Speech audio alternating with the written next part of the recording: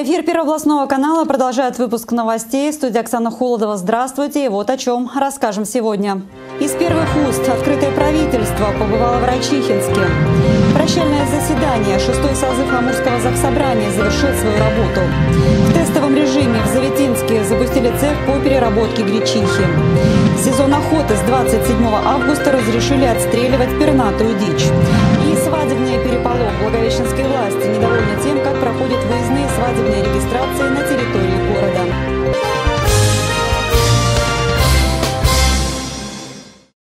Открытое правительство в Райчихинске. Накануне амурские министры во главе с губернатором Александром Козловым провели рабочую встречу в городе Угольщиков. Обсуждали подготовку к отопительному сезону. Также глава региона проверил, как идет подготовка к Дню шахтера. Ведь к этому празднику строители обещали завершить большую реконструкцию ледовой арены и футбольного поля. Мария Красилова подробнее. Здесь уже холодно. После большой реконструкции ледовая арена Райчихинска, как и 20 лет назад, начала работать круглый год. Для этого понадобилось 23 миллиона 600 тысяч рублей. Но амурское правительство на это из бюджета не направило ни копейки. Спонсором стал Амурский уголь. Здесь уже почти все готово. Мастерам остается только нанести разметку и залить лед. Но уже видно и понятно, как будет выглядеть ледовая арена. Зрительские трибуны будут располагаться наверху. Там же предусмотрено два места для телевизионщиков, которые в перспективе будут вести телетрансляции матчей. За время реконструкции здесь провели общий ремонт и запустили холодильную установку. В час она потребляет 250 киловатт. Это как обычная семья за целый месяц. Содержать арену будет областной центр развития спорта. Мы первый каток, который сдается тогда, когда мы обещали. То есть мы обещали к Дню Шахтера, мы к Дню Шахтера его сделали. На стадионе «Горнячок» тоже почти все готово. За полтора месяца здесь уложили основу под ковровое покрытие с системой водоотведения и сам ковер, на который тоже не потратили ни рубля амурских денег, оплатили только его укладку – 7 миллионов. К первому матчу на День «Шахтера» осталось засыпать резиновую крошку и сделать бордюры. Да они уже здесь, мальчишки, уже все это проверили. Каждый вечер здесь народу собирается очень-очень. Мы сдаемся 27-го, наверное, в обед. Успеем, если ливень не пойдет все успеем сделать. Пришла сдавать анализы, и э, как бы я еще должна была привести с тобой шприц. И это идет массово. На встрече с губернатором области и амурскими министрами жители Райчихинска озвучили вопросы, которые не могут решить с властями местными. Это бытовые проблемы возрождения городского дома культуры, строительства новых скважин. Беспокоятся райчихинцы и по поводу грядущего отопительного сезона. Министр ЖКХ доложил, что повода волноваться нет. 32% топлива уже оплачено. Накануне советник генерального директора Амурского угля Александр Коряков обратился к губернатору области по вопросу задолженности райчихинских коммунальных коммунальщиков за уголь. Александр Козлов принял решение направить 250 миллионов рублей на погашение долгов. Таким образом, город больше ничего не должен, и дальнейшие поставки угля будут вестись по плану. Что касается программы переселения из аварийного жилья, мы этим вопросом занимаемся. Вы знаете, дом напротив прокуратуры строится, мы его подтверждаем эти деньги об этом сказал, финансирование мы подтвердим, мы его закроем все равно. То есть стройка будет сдана в этом году, строители нас не подводят. Люди переедут из бараков в этот дом. На рабочей встрече обсудили и проблему местных управляющих компаний. Многие накапливают долги, а потом меняют название и начинают работать снова. Чтобы разобраться с управляйками, губернатор решил направить в Райчихинск жилищную инспекцию. Говорили не только о проблемах, но и о достижениях. Например, в прошлый раз Александр Козлов дал поручение коммунальщикам осветить въезд в Райчихинск. 50 светильников вдоль дороги появилось. Выполнили там и ямочный ремонт. В следующий раз Александр Козлов приедет в Райчихинск на день шахты актера в это воскресенье. Перед праздником Амурский уголь отчитается о работе за год. Мария Красилова, Андрей Цветков, Первый областной. В Заветинске сегодня в тестовом режиме начал работать цех по переработке гречихи. Первая партия продукции уже готова. Посмотреть на производство прибыл глава региона, который работал в Заветинском районе. На месте побывала и Анастасия Петраш. Передаю ей слово. Вот он, тот самый цех по переработке гречихи, который буквально сегодня запустили в тестовом режиме. На самом деле цех работал уже давно, ну, последние три года он стоял без дела. Сейчас же э, цех, а также всю территорию данного предприятия перекупила другая компания. И вот э, сегодня э, была получена первая партия продукции. Э, в переработку запустили 20 тонн гречихи, которую доставили с одного из предприятий, которое находится не по неподалеку. Из них получат примерно 10 тонн а, гречневой крупы, 3 тонны а, гречневого пробела. В общем и целом будет где-то 15 тонн продукции, 5 тонн отхода. Но даже эти отходы, они все равно пойдут в производство. Это мелкое зерно, которое может быть использовано для производства комбикормов. А также шелуха, которая остается после всей переработки, да, она а, идет для отапливания близлежащей котельной. То есть вот такое вот безотходное производство. И а, через пару месяцев этот цех планирует запустить уже на полную мощность, и тогда он составит определенную конкуренцию на данный момент единственному полноценно работающему а, цеху по переработке гречихи, это Октябрьский элеватор. А, на месте сегодня побывал губернатор Амурской области Александр Александр Козлов. Он пообщался с руководством предприятия, а, с работниками цеха, а также озвучил и перспективы цеха переработки по переработке гречихи вот Заветинского да, на будущее. Коллектив есть, люди не разъехали из Заветинского района, которые знают, как раньше это производство работало. Сегодня уже 4 смены разоблено, это значит 7 человек в смену, 28 человек. Э, наша задача сейчас помочь компании оформить документы Э, для того, чтобы в том числе и была осуществлена в законном порядке реализация этой продукции. А, так как гречка у нас начнется в сентябре, сбор ее урожая, то есть к этому времени уже предприятие получило следующее поручение оформить документы для того, чтобы перерабатывать и реализовывать эту продукцию.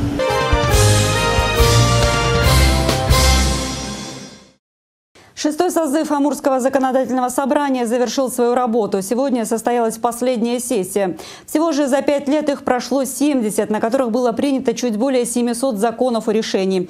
После выборов нового регионального парламента заниматься областными проблемами будут уже новые депутаты. О чем говорили на прощальной сессии, какие предложения одобрили пока еще действующие народные избранники, расскажет наш корреспондент. Каждая сессия всегда событие, ведь в этих стенах рассматриваются важные и судьбоносные решения для региона. С таких слов открыл последнее заседание шестого созыва губернатора Амурской области Александр Козлов. Он также отметил, что не просто давалось принятие бюджета на 2016 год, особенно его социальный блок. Много споров было и с принятием других законов, но согласие, вернее, золотую середину всегда находили. Глава региона поблагодарил за работу, а участникам предстоящих выборов, что состоятся 18 сентября, сентября пожелал победы. Предстоящие выборы, как всегда бывает, внесут изменения в состав законодательного собрания. Частично он обновится, кто-то покинет парламент, кто-то продолжит работу.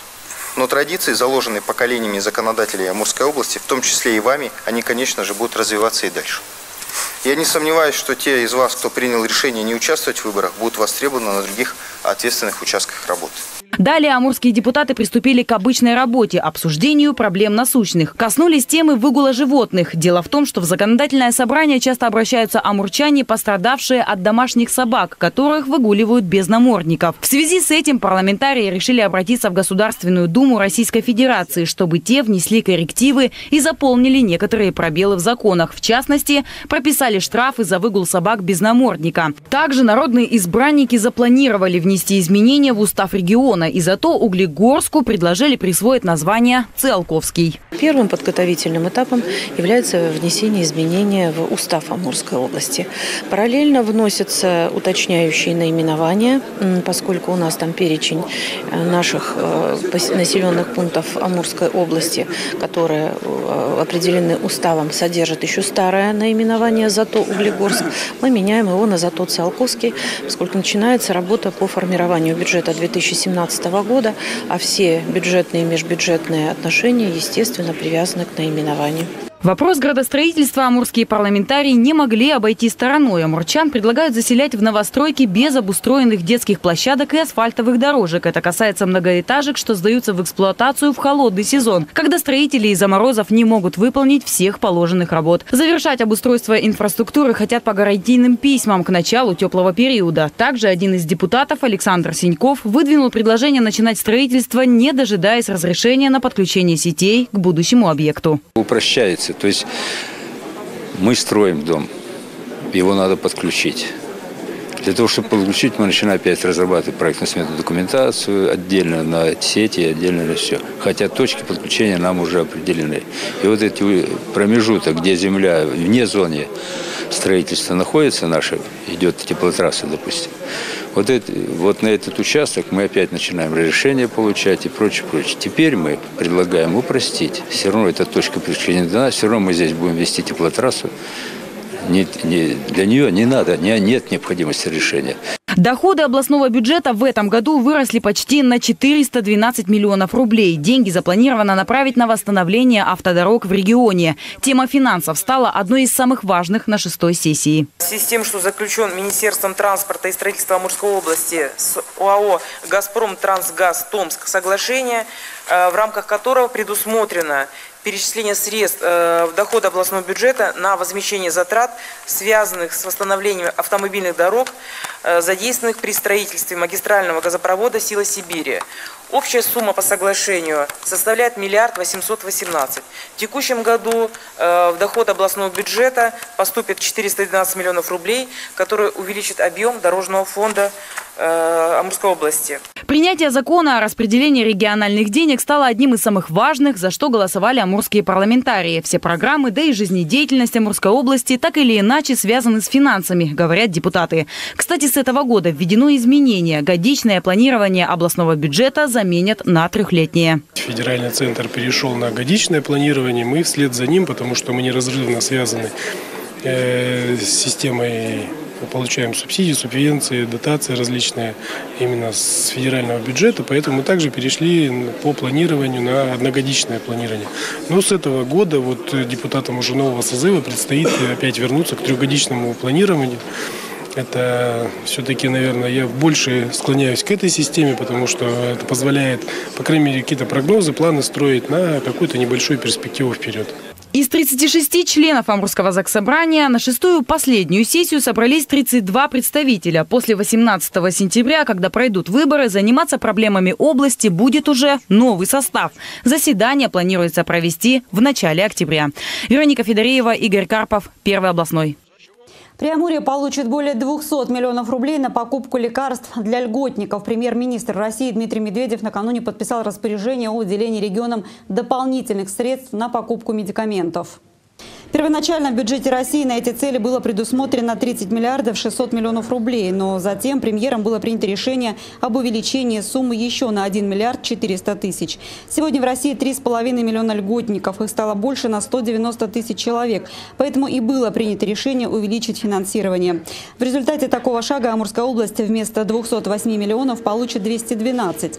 Больше всего средств из дальневосточных регионов будет направлено в Республику Саха-Якутия. Ей предназначено 300 345 миллионов рублей.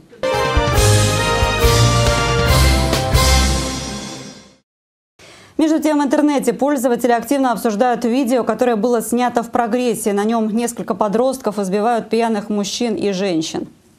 Видео вызвало шквал негодования у амурчан. Полиция уже проводит проверку по этому факту. Выяснилось, что самому старшему подростку, который оказался на видео, всего 13 лет. И по закону он не будет отвечать за нанесение телесных повреждений. Всех участников расправы сразу же доставили в отделение полиции. Сейчас решается вопрос о постановке их на учет в отдел по делам несовершеннолетних. В отношении родителей подростков составлены протоколы. На вопрос, что заставило пойти на такой поступок, участники видео ответили. На насмотрелись подобного в интернете и тоже захотели попробовать.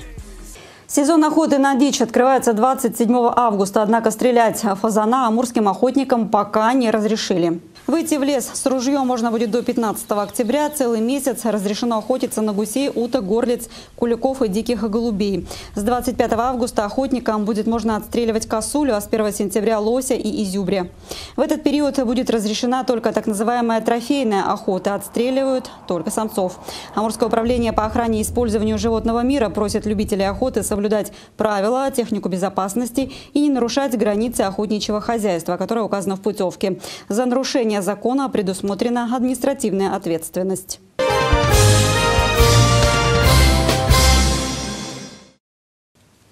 Благовещенские молодожены все чаще стали проводить свадебные торжества около городских достопримечательностей и на газонах. Особой популярностью пользовался сквер возле Центра эстетического воспитания. Здесь после каждого выездного банкета оставался мусор и бутылки от шампанского. После многочисленных жалоб жителей города мэрия Благовещенска запретила выездные свадьбы. Как к такому решению относятся сами молодожены, предприниматели и работники ЗАГС, все мнения собрал Ростислав Азизов как две реки, которые стали единым целым и отныне двигаются лишь в одном направлении. Провести церемонию бракосочетания на набережной города Благовещенска – давняя мечта молодоженов Анны и Дмитрия. К своей свадьбе мечты они готовились более восьми месяцев и, наконец, сегодня смогли сказать заветное «да» и надеть друг другу обручальные кольца. Их церемония бракосочетания состоялась на ротонде, таком излюбленном месте новобрачных. Легкость, воздушность, нежные цвета морской волны и крылья, как символ одухотворенности. Наиспеченная семья Якуниных признается, произнести свои клятвы любви хотели именно в нестандартной обстановке. Это, наверное, самые красивые регистрации. Это очень круто, это на свежем воздухе, это празднично, это очень, в первую очередь, красиво. Ну, это того стоит, потому что ну, в ЗАГСе это как у всех, а охота как-то от себя, чтобы как-то свое было, своя свадьба, не как у всех. В Преамурье все большей популярностью пользуется услуга выездной регистрации. И это неспроста, ведь именно благодаря усилиям специалистов свадьба превращается в красивую и необычную сказку. Эта церемония бракосочетания хоть и не имеет юридической силы, но для жениха и невесты, а также для всех гостей не становится менее волнующей. Фильмы, да, там американские, все мы видели с самого детства, и там были вот эти а, красивые а, церемонии где-то не в ЗАГСе, да, а на какой-то, ну, как бы на природе. Ну и, конечно, очень захотелось, а, чтобы и наши ну, молодожены тоже себя почувствовали, особенно девочки а, себя почувствовали а, принцессами. Набережная, парки, скверы и загородные дома, на что только не идут молодожены, чтобы сделать свой главный день жизни незабываемым. Самой необычной церемонией бракосочетания 2016 года в областной столице стала ночная свадьба под луной, а одна из самых дорогих обошлась в 1 миллион. Однако, как говорят будущие и состоявшиеся супруги, свадьба – это праздник жизни, и на нем не стоит экономить.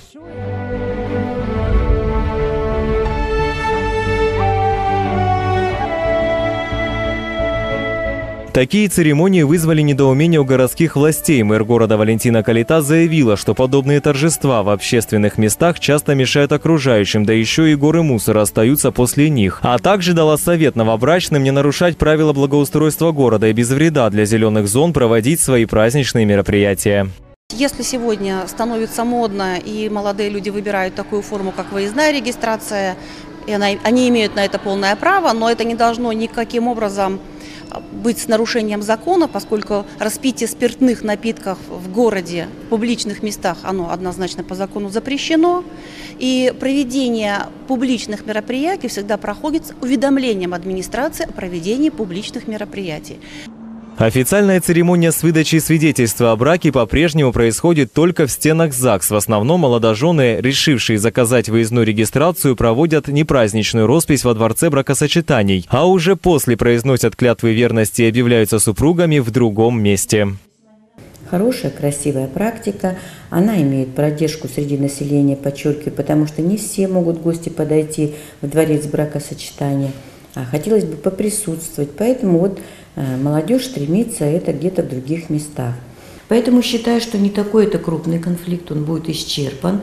Интересы всех сторон, молодоженов, предпринимателей, мэрии и органов ЗАГС будут учтены, и, в общем-то, мы будем дальше активно жениться и радоваться жизни.